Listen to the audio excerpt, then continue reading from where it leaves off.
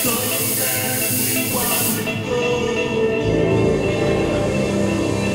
graduated from business school. I traveled hundreds of times. We the Black Lake, and I had a pretty good time during that. And see, the answer's about 160.